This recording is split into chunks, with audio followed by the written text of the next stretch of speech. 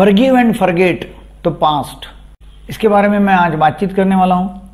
देखिए कि हम काफ़ी सारा समय दिन भर का लुकिंग गुड में बिताते रहते हैं।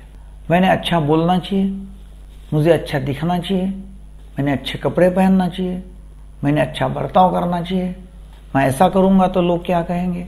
मैं वैसा करूँगा तो लोग क्या कहेंगे? सब नाटकीय ढंग से हम रहते हैं, सब ड्रामा चालू है बाहर से। 90 परसेंट टाइम हम उसमें ही गमाते रहते हैं। कि भाई लोग क्या कहेंगे? मैंने ऐसा बोला तो लोग क्या कहेंगे? मैंने ऐसा किया तो लोग क्या कहेंगे? उसमें चालू रहता है मैं अच्छे दिखाने तो, तो मेकअप करो। मेकअप करके बाहर जाओ अच्छे कपड़े पहनो इस तरह से बर्ताव करो।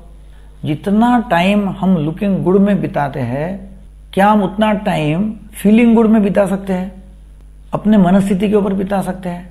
अंदरून जो स्थिति है उसके ऊपर बिता सकते हैं। तो देखो हैप्पीनेस आपको 24 फोर बाय सेवन मिलेगा। हम मनस्थिति की तरफ़ देखते भी नहीं है।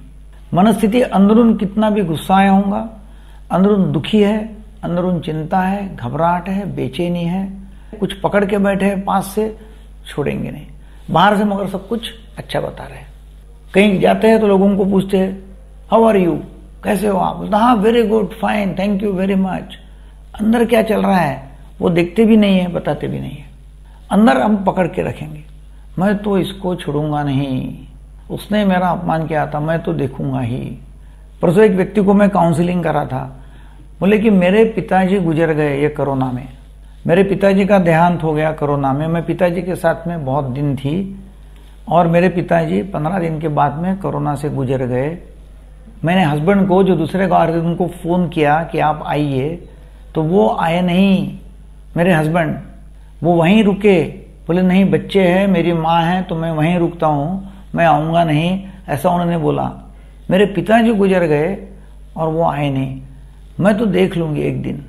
मैं तो इसका तो निकालूँगी ही बाहर, कभी ना कभी। मतलब भाई, आप कितने दिन तक ये पकड़ोगे? ऑलरेडी छः महीने हो गए इसको। आपके दिमाग में वो चालू है कीड़ा कांडी। फिर आपका होता क्या है? आपकी गारंटी वारंटी निकल जाती है। आपकी एनर्जी ये चीज़ें सक कर लेती है। आपके दिमाग में ऐसा पास की बातें बिठा कर अपने रखा हुआ है, जो देख लूँगी।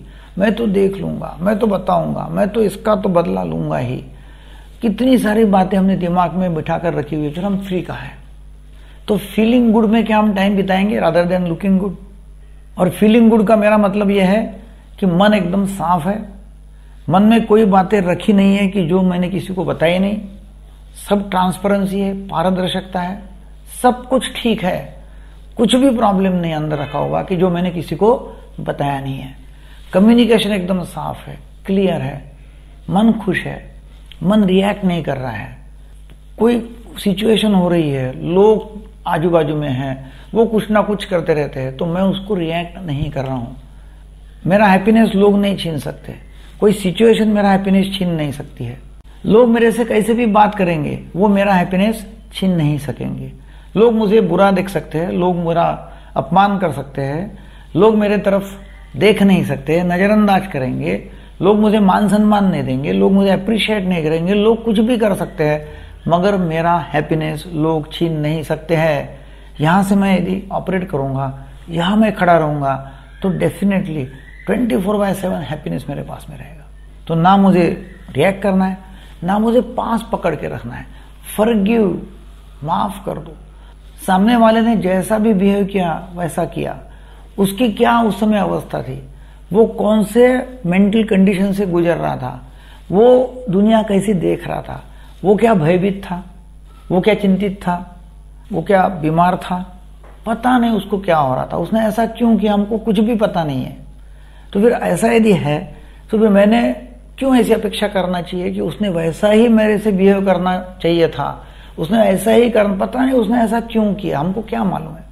लोग कैसा भी बिहेव कर सकते हैं, लोगों का बिहेवियर मेरे कंट्रोल में है नहीं। मैं लोगों का बिहेवियर कंट्रोल नहीं कर सकता। लोग कुछ भी कैसा भी व्यवहार मुझसे कर सकते हैं।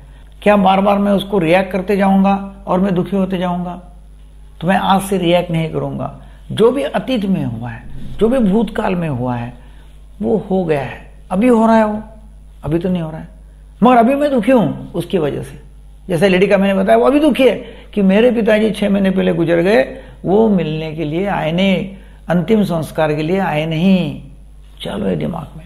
फिर बोलते हैं कि मुझे याद नहीं रहता। फिर बोलते हैं कि मेरा कंसंट्रेशन नहीं होता। फिर बोलते हैं कि आजकल मेरे को ठीक क्यों नहीं लग रहा है? क्योंकि दिमाग आपका ऑक्यूपाइड है फुल है। तो कैसा ख्याल रहेगा? तो फिर आप प्रेजेंट टू द प्रेजेंट नहीं है। कंटिन्यूसली ऑनगोइंगली थॉट चालू है और वो रिएक्टिवेशन मोड में है।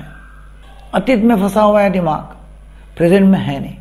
तो forgive the past forgive the people forget it complete it and live happily हमारा ऐप आप डाउनलोड कर सकते हैं डॉक्टर केड़कर नाम का प्ले स्टोर से, और वहाँ से आप चैटिंग कर सकते हैं अपॉइंटमेंट ले सकते हैं फ्री डाउनलोड है, वहाँ आपको काफ़ी सारी इन्फॉर्मेशन मिलेगी। Thank you very much